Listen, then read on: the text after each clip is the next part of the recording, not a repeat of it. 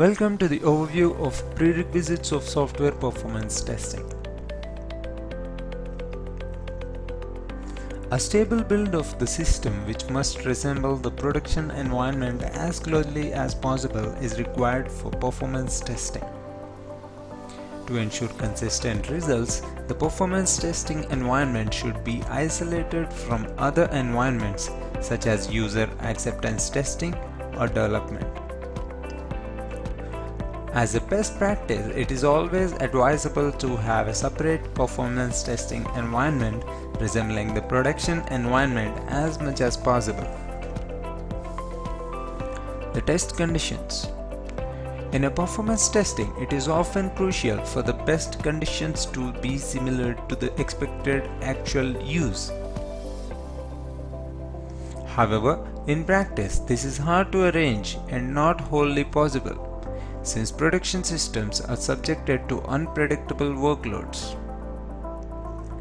Test workloads may mimic the occurrences in the production environment as far as possible, but only in the simplest systems can one exactly replicate this workload variability. Loosely coupled architecture implementations have created additional complexities with performance testing. To truly replicate production-like states, enterprise services or assets that share a common infrastructure or platform require coordinated performance testing with all consumers creating production-like transaction volumes and load on a shared infrastructures or platforms. Because this activity is so complex and costly in money and time, some organizations now use tools to monitor and simulate production-like conditions in their performance testing environments to understand capacity and resource requirements and verify or validate quality attributes.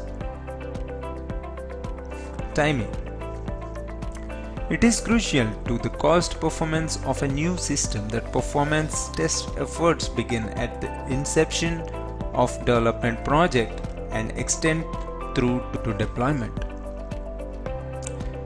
The later a performance defect is detected, the higher the cost of remediation.